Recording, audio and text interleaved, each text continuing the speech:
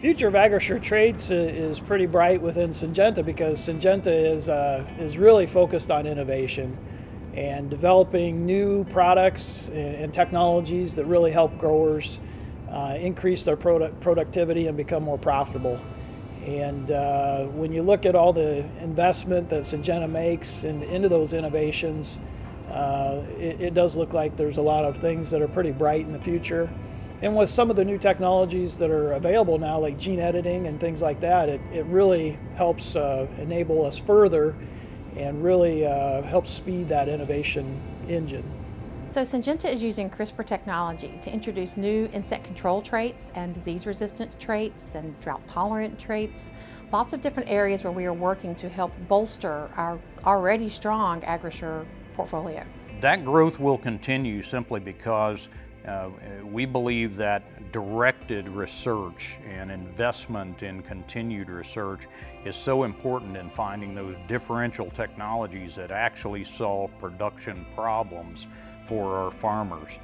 People think of scientists as these uh, uh, loners that uh, work in this lab and wear, wear white lab coats. And, and in order to succeed in science now, you, not only do you have to be a good scientist and have good background, but you have to be a good team player because it takes many skills across the whole spectrum to go from an idea uh, or, a, or a business need to a product. To bring new traits to market quicker, uh, we're doing a lot of things in parallel.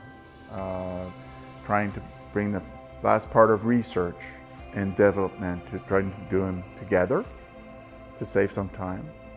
In Syngenta as a whole, there was about 5,000 uh, people in research and development. In seeds development, we're approximately 1,800 people.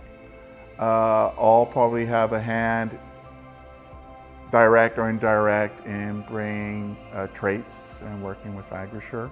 We'll continue to see new innovation, uh, multiple performance enhancing technologies that uh, we simply haven't been able to bring to farmers uh, previously. So as we begin to see the fruits of some of those, uh, those new tools, so to speak, uh, in R&D, we'll be able to incorporate many of those into our corn, hybrids and soybean varieties and bring those to farmers in a shorter period of time.